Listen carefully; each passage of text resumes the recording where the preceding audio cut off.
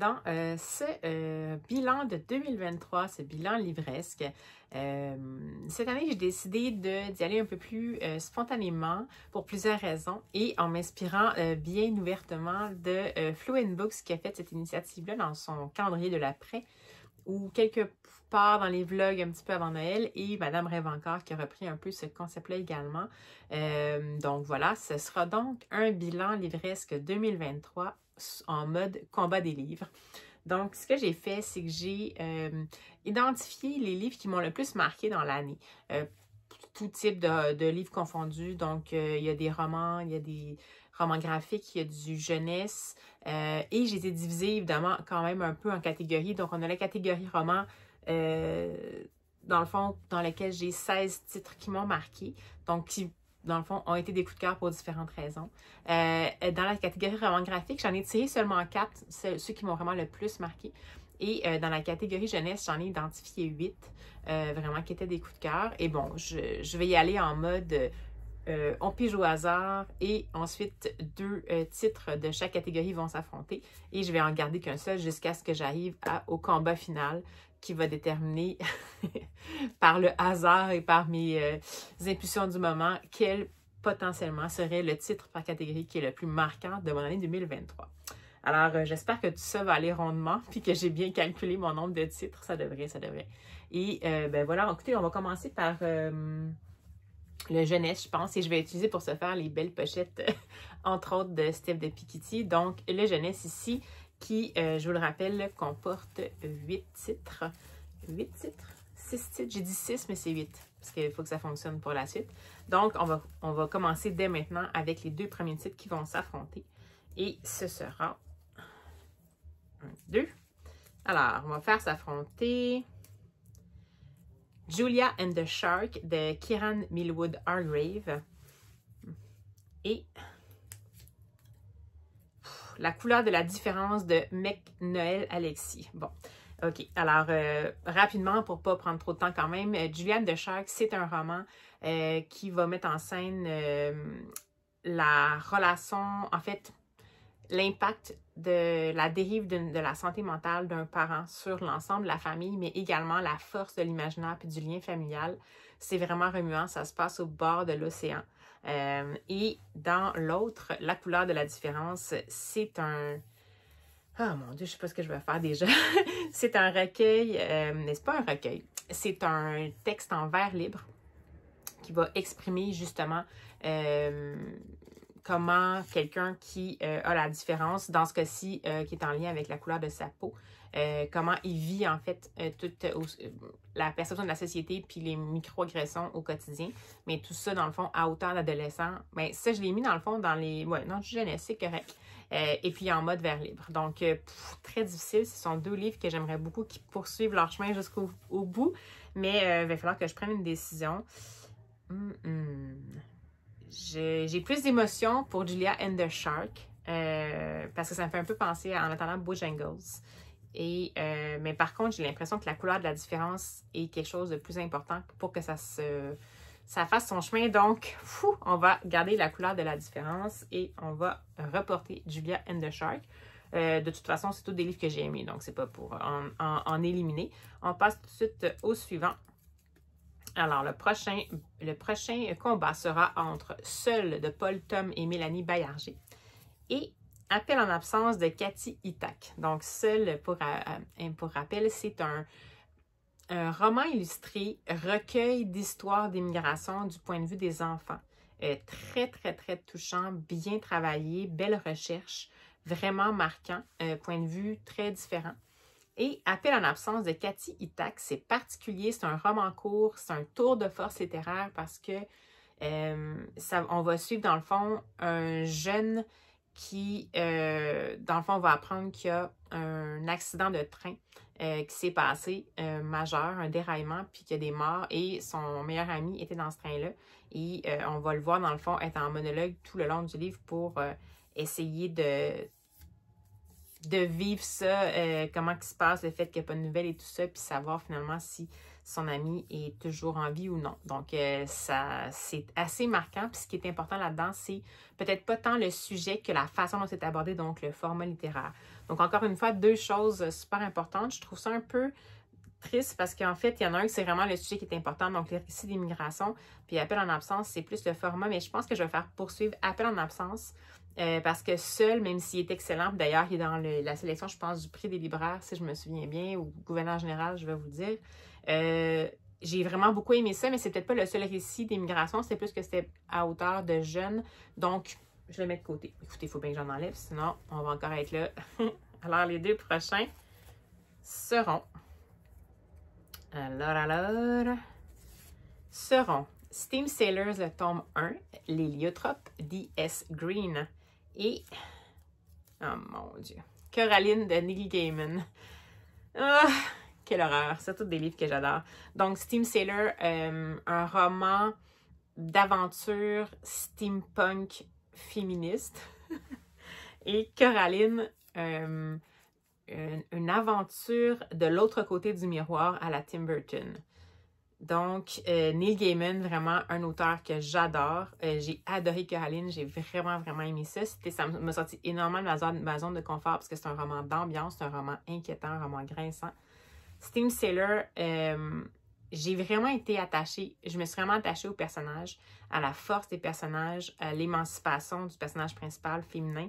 Donc, je pense que même si c'est Neil Gaiman, oh mon Dieu, je ne vais pas croire que je fais ça. OK, je vais tasser Neil Gaiman parce que de toute façon, euh, bon, il est quand même venu présent dans mes lectures et je vais garder Steam Sailor. Et enfin, le dernier duo. Le dernier duo de la première manche. Là, j'ai quand même mis des albums parce qu'il y en a qui sont marquants comme celui-là. Donc là, celui-là, c'est Bird de Béatrice Martin-Vidal contre The Poet X d'Elisabeth Acevedo. Bon.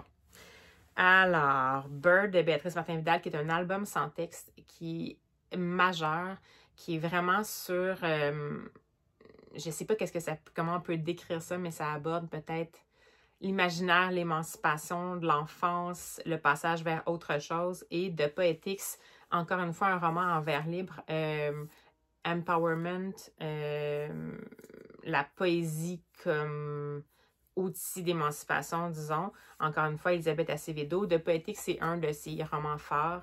Je sais pas lequel je devrais faire passer.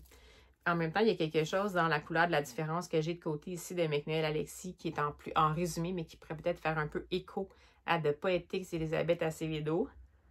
Et Bird de Béatrice Martin-Vidal, j'ai pas grand-chose dans ce genre-là. Ah, bon, je vais garder Bird. Oh là là. OK, donc première manche qui est faite. On va y aller pour la deuxième manche.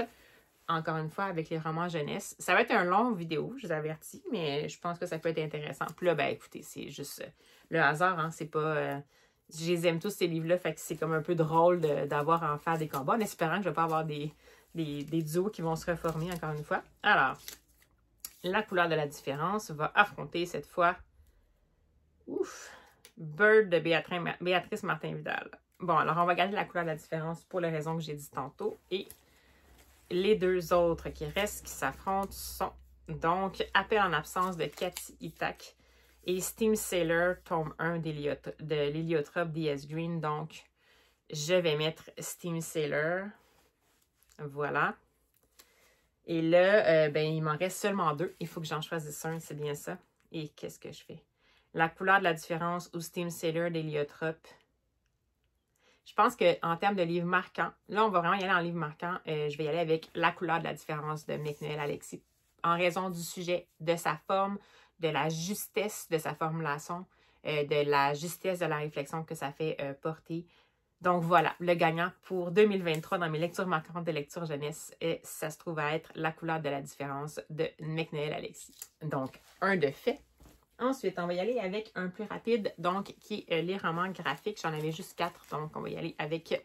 C'est une pochette que j'avais, que j'ai depuis longtemps, qui est morte un peu de prix, mais c'est de Dodé Artistry, que j'aimais vraiment beaucoup, si jamais vous voulez. Euh, je pense, je sais pas si elle, je sais qu'elle a un site, avant elle était sur Etsy, mais là, maintenant, elle a un site internet. Donc, les deux premiers, euh, le premier duo qui va s'affronter dans les romans graphiques. C'est sûr que là, j'avais réduit ça à quatre, donc... ah ben, ok. Alors, ça sera comme un oiseau dans un bocal, portrait de surdoué de Lou Luby. et Things in the Basement de Ben Atke. Donc, c'est vraiment des choses qui ne se comparent pas. Et en plus, c'est deux publics différents et deux types de, de romans graphiques différents. Comme un oiseau dans un bocal, c'est vraiment des portraits de surdoués. Donc, on est avec euh, les notions de haut potentiel. Puis, c'est une espèce de hum, fiction, autofiction documentaire sur justement euh, cette réalité-là qui semble avoir été vécue potentiellement ça par l'autrice ou par son entourage. Donc, c'est super intéressant. C'est aussi beaucoup d'informations. Euh, visuellement, c'était vraiment marquant. Alors que Things in the Basement, c'est Ben Atke, c'est vraiment une aventure euh, dans le sous-sol de sa maison. Puis, une espèce de combat contre la peur, une espèce de... En fait, Ben Atke, c'est celui qui était connu pour euh, Zita de l'espace. Puis on est vraiment dans euh, la limite entre justement le réel et l'imaginaire. Il est assez bon là-dedans, je dirais. Et euh, je sais pas quoi choisir. Comme un dans un bocal, Portrait de surdoué, c'est vraiment un, livre majeur. Mais pour moi, c'est quelque chose qui est un documentaire. Puis même si j'adore Lulubi, euh, je pense que c'est quelque chose que je mettrais de côté, mais je garderais Things in the Basement. Et le dernier duo qui va s'affronter dans cette catégorie sera. Je me souviens même plus des titres, j'ai fait tantôt, puis ma petite mémoire. Donc, ce sera Je pense que j'en aurai pas de Catherine Gauthier, qui est un également un genre de livre. ça va être encore une fois documentaire contre fiction. Et Les vies de Charlie de Kid Toussaint et Aurélie Guarino. Oh là là, je prie, je sais pas comment je vais faire pour choisir avec ça. Donc, euh, je pense que j'en aurai pas de Catherine Gauthier, qui est un, une autofiction, roman biographique sur une femme qui explique euh, son aventure avec la maternité. Euh, c'est pas en forme de statement, c'est un questionnement sur justement la maternité, puis comment la société voit ça, puis comment la société se donne un peu le droit de forcer la femme dans un rôle, finalement. Euh, alors que c'est une décision très personnelle, puis qui peut avoir plein de raisons qui font en sorte que quelqu'un a un enfant ou pas d'enfant. Donc, ça m'a vraiment touché. Catherine Gauthier avait vraiment une approche super juste euh, super nuancé dans cette, euh, cette, espèce de BD euh, documentaire-là. Et les vies de Charlie de Kid Toussaint et Aurélie Guarino, c'est vraiment une histoire tellement touchante sur, sur la vie, sur la mort, sur le deuil, en même temps dans une petite dimension de fantastique parce qu'on est dans un monde où il y a des gens qui déterminent qu'est-ce qui va se passer quand quelqu'un meurt et ils vont l'envoyer euh, soit dans les enfers ou dans le paradis et tout. Euh, ah, je pense que je vais garder. Hey, je pensais pas que j'allais faire ça parce que dans ma tête, ça allait, je pense que je, ça allait je pense que je pas de Catherine Gauthier, mais je pense que je vais garder la fiction. Donc c'est spécial hein, parce que pourtant j'ai adoré ces deux romans graphiques-là euh, de cul. Mais là, on dirait que c'est plus les vies de Charlie de Kid Toussaint, puis l'autre, c'est la fiction aussi qui vont, qui va s'être, qui vont finir par se faire face. Et puis là, ben, je vous dirais que euh, c'est sûr que s'il me reste Lévi de Charlie et Things in the Basement de Ben Atke, Lévi de Charlie de Kid Toussaint et Aurélie Guarino, définitivement, ça remporte la palme. Alors voilà, c'est donc ça pour les romans graphiques. Et maintenant, attachez votre sucre pour la fiction, parce que celui-là, j'en ai quand même beaucoup, donc je vais essayer de faire ça rapidement, sinon euh, ça va être un peu, euh, un peu compliqué. Donc, à date, je suis quand même dans... Ouais, c'est assez varié, c'est bien. Alors, les deux premiers romans qui vont s'affronter, c'est Oscar et la Dame Rose d'Éric Emmanuel Schmitt. Je me rends compte que j'ai beaucoup lu de choses. Et contre The Door to Door Bookstore de Karsten N. Alors, Oscar et la Dame Rose d'Éric Emmanuel Schmitt, qui est un, classique, une espèce de petit opuscule sur le rapport à la mort euh, à hauteur d'enfant, euh, à la mort et à la maladie, et euh, avec une petite touche de spiritualité. Et The Door to Door Bookstore de Karsten N, c'est euh, le rapport à la lecture, à l'amour des livres, mais aussi au lien humain essentiel. Hmm, c'est dur de comparer ces deux-là. Les émotions ont été vraiment différentes. Mais je me souviens plus de comment je me suis sentie dans Oscar et la Dame Rose. The Door to Door Bookstore, c'est venu chercher le côté en moi, ancien libraire, bibliothécaire. C'est sûr que ça avait tout pour me plaire, mais peut-être que c'est moins mémorable. Donc, je vais garder Oscar et la Dame Rose d'Éric Emmanuel Schmitt pour ce premier tour-là. Ensuite, on y va avec... Ah, j'ai oublié de vous dire que je pigeais dans l'autre pochette de Steph de Pikiti en collaboration avec Adelcha, donc euh, de Noël. Je vais avoir deux pochettes de Steph de Pikiti qui m'accompagnent. Alors, ce sera donc Bienvenue à l'essai de J.D. Curtness, une autrice canadienne euh, issue des Premières Nations. Et La petite fille de Monsieur Lynn de Philippe Claudel. Wow! OK. Euh, bienvenue à l'essai de J.D. Curtness. C'est un petit roman très court, très. Euh, un ovni vraiment étrange. On est dans une espèce de science-fiction. Euh, il y a des disparitions qui vont arriver, puis ça va avoir un lien avec notre rapport à la Terre. C'est spécial, c'est vraiment, euh, ça vaut la peine. Je trouvais, ça m'a tellement fait découvrir la plume de J.D. Curtis pour en arriver à, proposer des personnages aussi ancrés, puis à faire monter une tension aussi euh, juste dans si peu de pages. Ça m'a vraiment marqué. La petite fille de Monsieur Lynn de Philippe Claudel, c'était également une petite plaquette, mais pas aussi courte que Bienvenue à Allison. C'est quand même euh, un classique, ça aussi, ça fait longtemps que c'est sorti, c'est pas une nouveauté. et on parle ici d'histoire d'immigration et de, du rapport de la société face euh, à l'immigration, aux esselés. À, je, je, vais garder la petite fille de Musseline, mais découvrez J.D. Curtness, elle en a fait d'autres, ça vaut vraiment la peine. Donc, je vais garder la petite fille de Musseline. Voilà. Ensuite, on continue avec le prochain duo. Ouf. Ce sera M de Kim Tui contre Pleine carnet décomplexé de Marie-Noël Hébert. Bon, OK. Alors, me suit, un classique quand même. M, qui était son plus récent opuscule, qui avait euh, un lien avec, si je me souviens bien, ça fait longtemps en plus de résumé, ça ne me revient pas, mais c'était le fil rouge qui euh, liait, euh, il me semble que c'était la colonisation ou des plantations qui se passaient au Vietnam avec le présent. Et c'est vraiment loin. Mais voyez-vous, ça, me prouve que j'ai vraiment beaucoup aimé ça parce que c'est me suit mais j'ai pas un grand souvenir de ça. Euh, donc, peut-être que ça va malheureusement passer à la trappe, mais c'est dommage parce que c'est qui me suit.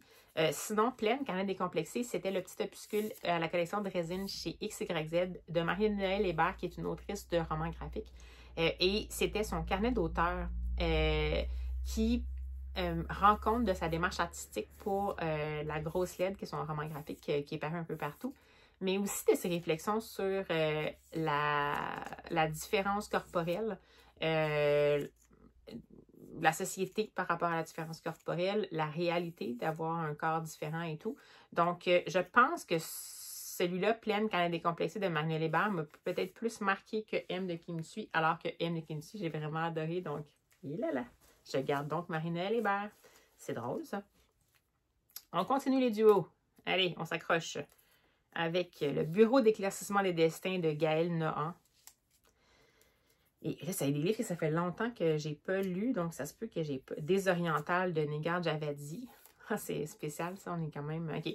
Donc, ça fait longtemps les deux que je les ai lus. Donc, euh, le Bureau d'éclaircissement des destins de Gaël Nohan, ça rapport avec la Seconde Guerre mondiale. On est vraiment dans euh, une personne qui va. Euh, un bureau qui s'occupe justement de faire le lien entre euh, les gens qui ont survécu au camp hein, dans l'Holocauste et les survivants.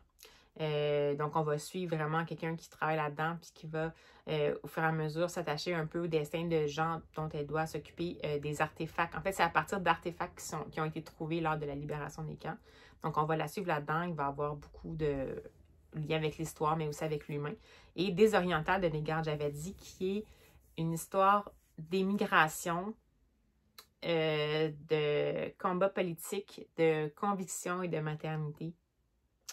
Et j'ai adoré Gaëna, mais je pense que j'aimais Désoriental de Négar, j'avais dit. et que j'avais lu dans le, le cadre du. Euh, que j'avais lu dans le cadre du, je vais dire, du mois du mars au féminin de, de Fluent Books. Alors, on continue avec Ouf, Lessons in Chemistry de Bonnie Garmis qui en fait en français euh, La vie rêvée d'Elisabeth Zott, je crois, ça a été traduit comme ça en français, et Terranulius de Victor Guibert. Non! Oh my god, je pense que c'est comme mes deux romans préférés de l'année. Gosh. Ok, donc euh, Terranulius, qui est un roman euh, policier qui euh, fait partie d'une trilogie et qui se passe dans une zone un peu atypique entre, il me semble que c'est la Belgique et la France, un genre de zone apatride, une espèce de bidonville, puis il va y avoir un meurtre qui va se passer là, puis ça va mettre en lumière vraiment gros euh, comment la société gère le fait qu'il y a des gens qui ont vraiment rien et qu'on laisse un peu de côté comme ça. Euh, ça m'avait marqué Terranulius. Terranulius, ça veut dire comme terre de nulle part. Euh, non seulement c'est un roman policier habile, les personnages étaient majeurs et la réflexion aussi. Lessons in Chemistry de Bonnie Garmis, on va suivre Elisabeth Zott, qui est une scientifique dans les années 50 une scientifique et on va la suivre tout au long de sa carrière qui va malheureusement dans les circonstances être assez courte dans le domaine de la science parce que elle va être dans un, laboratoire mais ses études vont se terminer rapidement malheureusement à cause de choses qu'elle va vivre dans sa société patriarcale là, euh, des choses euh, violentes mais aussi après ensuite des refus euh, d'intégration. Donc on va ça va être aussi un survol de l'histoire de la condition de la femme dans les années 50 et de l'impact qu'elle euh, a décidé d'avoir par la suite, euh, alors qu'elle est devenue, euh, qu'elle a fini par animer une émission de cuisine et qu'elle a décidé d'utiliser la voix qu'elle avait pour essayer de changer les choses. Et je pense que même si Victor Guibert est comme mon auteur découverte de l'année, c'est pas vrai, là, mais quand même, j'avais gardé Lessons in Chemistry de Bonnie Garmis parce que ça m'a trop marqué cette histoire-là. Alors, on continue. On lâche pas tout le monde. Prochain duo. Ce sera donc Attention. Le murmure des acapiques de Roxane Bouchard, que j'ai lu récemment. Et Station Eleven d'Emily St. John Mandel. OK. Murmure des acapiques de Roxane Bouchard, qui est le troisième roman euh, policier qui se passe en Gaspésie euh, de Roxane Bouchard, qui est excellent, euh, qui m'enseigne encore une fois le rôle des femmes dans un monde d'hommes, on est vraiment dans un monde de pêcheurs, mais aussi le monde de la pêche, euh, qu'on voit souvent avec un côté un peu négatif des fois parce qu'évidemment, euh, c'est des pêcheurs et tout, mais en fait, c'est des gens dont c'est le métier. Euh, ah oui, c'est l'humain, l'amour, donc ça. Ensuite, Station Eleven d'Emily St. John Mendel, j'en avais jamais encore lu cette année. En fait, il y en avait deux d'elles. J'ai décidé de. Il y avait aussi Sea of Tranquility que j'ai lu, son plus récent, La main de la tranquillité. Mais j'ai décidé de euh, mettre Station Eleven parce que euh, j'en ai gardé juste un sur deux, sinon ça aurait été vraiment trop. Puis c'est vraiment celui qui a été marquant. Puis je pense que j'ai vraiment gardé Station Eleven d'Emily St. John Mandel. On est vraiment dans une dystopie, temporalité multiple, où l'humain tente de survivre par l'art, entre autres. Je ne sais pas comment on peut décrire vraiment Emily St. John Mendel et son Station Eleven. Mais c'est à grand regret que je laisse partir quand même le Roxane Bouchard. Et on arrive au dernier duo. Non, pas du tout. Avant le dernier duo, La vérité sur l'affaire Harry Kébert de Joël Dicker. Oui, je l'avais jamais encore lu. Ça fait super longtemps que c'est là, mais je l'avais jamais encore lu. Et oui, c'était un des coups de cœur de mon année. Et Rosa Candida d'Odurala Ava Olaf de Tir. Donc, La vérité sur l'affaire Harry Kébert de Joël Dicker, qui est un une genre d'enquête un peu policière particulière parce que ça va être une mise en abîme. Donc, on va avoir un ami qui s'interroge sur son ami Harry Kébert. Il a été mis au cœur d'une affaire et euh, il va essayer de l'aider en rédigeant un livre qui s'appelle L'affaire Harry Kébert. Mais dans le fond, nous, ce qu'on va voir, c'est les coulisses de cette rédaction-là, puis qu'est-ce qui s'est réellement passé. Euh, Rosa Candida d'Odur euh, Ava Olafs de Tir, c'est l'émancipation d'un jeune homme qui part de l'Islande pour essayer de se retrouver. Euh, je ne sais pas comment décrire Rosa Candida, mais c'est aussi dans C'est le fun, parce que deux fois, c'est des livres, ça fait longtemps qu'ils sont parus, mais que j'ai enfin eu l'occasion de lire cette année. Et je pense que je vais préférer Odurava Olafs de Tir pour sa plume, parce que j'ai vraiment découvert une autrice là, que je ne veux pas laisser partir. Ça a été euh, c'était une voix qui m'a vraiment touchée. Je ne savais pas comment le décrire. C'est un roman d'apprentissage, c'est un roman de passage à la vie adulte, mais euh, tout en finesse. Oui, vraiment. Donc, je le conserve. Désolée, Harry Hébert. Enfin, le dernier duo de euh, cette, première manche. Bon, voyez-vous, j'avais deux Neil Gaiman, donc j'ai bien fait d'en de, laisser partir un tantôt. The Ocean at the End of the Lane de Neil Gaiman. et The Last Devil to Die de Richard Osman. Oh non! Ok, The Ocean at the End of the Lane. C'est encore une fois une histoire un petit peu particulière de Neil Gaiman, mais toujours particulier. C'est toujours à la frontière du réel et du fantastique. Et c'est l'histoire d'un quelqu'un qui se rappelle son enfance et quelque chose un peu inexpliqué qui s'est passé. Euh, il y avait une maison particulière qui était à la fin de l'avenue et euh, où il se souvient d'être allé, puis où s'est passé des choses, où il a l'impression qu'il y a des gens euh, qui aurait dû se souvenir, puis que finalement, euh, ça lui revient un peu par, euh, par bribes.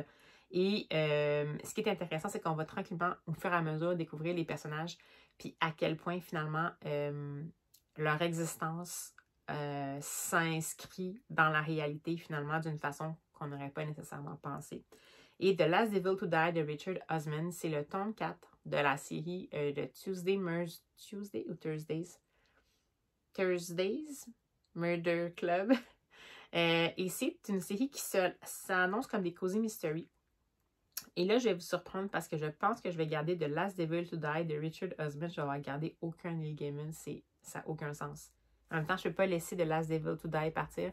Je ne sais pas, j'hésite encore. Mais The Last Devil to Die, ça va être dans le fond l'évolution de euh, je ne vais pas vous en dire beaucoup parce que c'est un tome 4, mais en gros, c'est euh, des gens qui habitent dans des RPA, donc des personnes âgées, qui décident de se rencontrer tous les jeudis pour évaluer, euh, pour euh, revisiter des crimes qui ont déjà été commis et non élucidés. Et ils ont toutes des personnalités particulières, des bagages, des passés qu'on apprend à découvrir tranquillement. Une ancienne infirmière, une ancienne personne des services secrets, un ancien commerçant un petit peu, peut-être pas toujours droit, droit, droit, et un ancien psychologue. Et ils vont finir par euh, devenir super amis. On va apprendre à les connaître. Et dans celui-là, ça va être une évolution particulière. Évidemment, il y a toujours un, meurtre qui finit par s'imbriquer. C'est eux autres qui vont finir par prendre le lead de l'enquête en collaboration, bien sûr, avec la police, même s'ils ne veulent pas vraiment que ce soit officiel. Euh, mais c'est surtout l'évolution des personnes. Et dans celui-là, on aborde la fin de vie et euh, la maladie d'Alzheimer. Et ça m'a remué complètement alors que c'était vraiment supposé être un cozy mystery. Euh, je pense que je vais garder The Last Devil to Die, mais The Ocean at the End of the Lane, c'est vraiment un Gaiman à découvrir. Vraiment. Euh, c'est pour adultes, mais ça fait un peu penser. Ça m'a fait un peu penser. Ben, je peux pas vous en. Non, si je vous dis ça, ça va trop vous divulgacher. Évidemment, mon chat qui s'invite dans mon affaire, c'est sûr. Voyons. Euh, je vais juste voir si elle a tout mis ça à l'envers. Et Hey, hey. Euh, ouais, je pense qu'elle a fait ça comme ça. Ok, c'est bon. Alors, euh, donc, c'est ça. The End of the Lane, ça vaut la peine de découvrir ça. Euh, Seigneur, ça me fait mal au cœur dans le Benny Gaiman, mais c'est pas grave. De Hey Seigneur, est-ce que je fais vraiment ça? Est-ce que j'assume? bon, c'est correct. De toute façon, il va être en. C'est bon. Alors, il n'y en a plus là. On va passer. Je vais les garder tout près de moi, ça va être plus facile. On va passer, dans le fond, au deuxième tour. Donc, je vais en prendre deux. Euh, qui vont se, rencontrer. Alors, Station Eleven contre The Last Devil to Die. Oh mon Dieu! Oh mon Dieu. Ok, je vais garder Station Eleven, mais parce que, tu sais, Emily St. John Mandel, mais mon Dieu. Ok, on continue. Alors, attention, roulement de tambour. La petite fille de Monsieur Lynn de Philippe Claudel à la rencontre de Rosa Candida. Oh mon Dieu. Rosa Candida. Euh, ah, ça, ça me fend le cœur. Je sais pas quoi faire. La petite fille de Monsieur Lynn, ça m'a tellement marqué cette histoire-là. Tellement, tellement. Rosa Candida aussi, mais là. Oh, qu'est-ce que je fais? Est-ce que la petite fille de Monsieur Lynn pourrait me faire pencher pour les futurs tirages plus que Rosa Candida? Peut-être. Je vais garder la petite fille de Monsieur Alors là, voyez-vous, j'ai des stratégies. Parce que sinon, euh, on n'y arrivera pas. Alors, un ici. Euh, lessons in... Oups, j'ai-tu perdu un papier? Non. Qu'est-ce qui se passe? Est-ce que j'ai perdu un papier? Vous direz que oui. Non, oui. Euh, ça marchera pas mon truc? Qu'est-ce que j'ai fait? Qu'est-ce que j'ai fait? Je suis censée en avoir quatre. Euh, je pense qu'il y en a un que j'ai pas mis à la bonne place. Il m'en manquerait un. OK. Ah, attendez, j'ai peut-être mis les deux là. Non. La petite fille de Monsieur Lynn. OK, j'en avais 16. Et ça, ça m'en restait 8. Puis là, je serais censée en arriver à 4. Donc, mettons la petite fille de Monsieur. Station 11. il m'en manque un. À moins que ce soit mon chat qui l'ait bougé tantôt. Je vais juste revérifier parce que ce qui arrive quand on est... Euh, est-ce que... Ah oui, c'est peut-être ici. Oui, c'est ça. C'est parce que je ne l'ai pas mis comme il faut, je pense. Oui, OK. C'est ça? Oui. Il m'en manquait un qui avait été mis pas à la bonne place. Excusez-moi, excusez-moi. Alors, on va mélanger ça. Alors, Désoriental de Nigar Javadi se bat contre Oscar et la Dame Rose de Rick Emmanuel Schmidt. OK, Désoriental de, de, de Javadi. Et finalement, j'ai à choisir entre Pleine Canette décomplexée de Marina Hébert contre Lessons in Chemistry. Oh mon Dieu, de Bunny Garmus. OK, Lessons in Chemistry. Je vais garder Bunny Garmus. Alors, ce sera donc l'avant-dernier tour et après, je vais pouvoir vous laisser aller. Vous avez été très patient. Oh, mon Dieu, qu'est-ce que je vais faire là? OK. Alors, premier duo dans la finale, ce sera Lessons in Chemistry à la rencontre de Station Eleven. Oh my God! OK, Station Eleven. Non, je ne peux pas laisser passer Station Eleven. Et donc, je vais devoir choisir entre la petite fille de Monsieur Lynn ou Désorientale. Et les deux, ça a rapport avec l'immigration.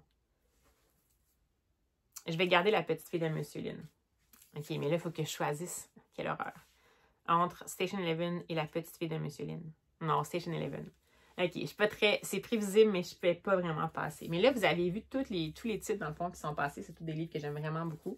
Alors, roulement de tambour. Donc, mon top, mon top selon le, combat des livres pour les lectures marquantes de 2023, dans la section jeunesse, c'est La couleur de la différence de McNeil Alexis.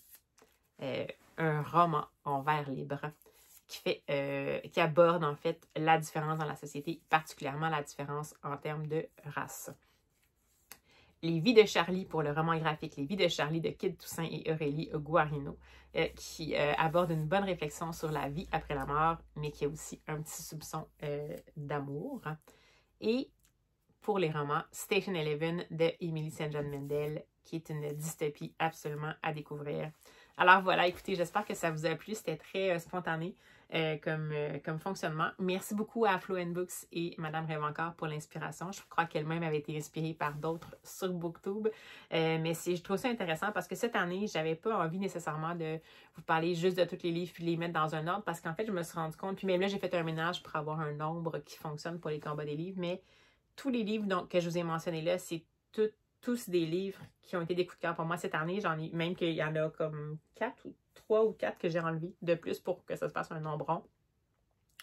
Donc, si on rappelle, 16 romans euh, adultes, 8 romans jeunesse, donc 24, et 4 romans graphiques, donc 28, plus un 3 ou 4 autres, donc 32, près d'une trentaine de livres qui m'ont marqué cette année. Euh, c'est quand même majeur. Euh, j'ai trouvé ça intéressant. Ce que je trouve intéressant, c'est que, c'est, voyez-vous, là-dedans, j'ai deux nouveautés dans mes gagnants. J'ai deux nouveautés et un classique, entre guillemets, dans le sens où Station Eleven, c'est pas tout récent. Euh, mais j'ai énormément également, c'est tous des auteurs que je connaissais pas, sauf peut-être Richard Osman. J'ai énormément de nouveaux auteurs que j'avais jamais lus. Et puis, euh, dans lesquels je me suis lancée cette année. Certains avec un seul roman, d'autres, je me suis lancée euh, à, corps perdu. Donc, euh, vraiment, quelle belle année 2023 de lecture. J'espère que la 2024 me réserve des surprises aussi sympathiques. Et je vais continuer à sortir de ma zone de confort parce que je pense que c'est là des fois que ça situe les découvertes qu'on peut faire nécessairement parce que c'est pas nécessairement prévisible. À vous, je vous souhaite pour 2024 une année livresque mémorable également. N'hésitez pas à mettre en commentaire euh, vos euh, lectures marquantes de 2023. Euh, ça peut être un, deux, trois, comme vous voulez. Ou si jamais vous avez lu des livres dans ceux que j'ai présentés même rapidement, puis que pour vous, ça a été des lectures marquantes ou ça n'a pas fait ça du tout, n'hésitez pas, ça va me faire plaisir d'échanger avec vous. Alors sur ce, Écoutez, on se dit à la prochaine pour le prochain vidéo, la prochaine vidéo spéciale, mais sinon bien avant pour le prochain vlog livresque. Merci d'avoir été là. Bye bye.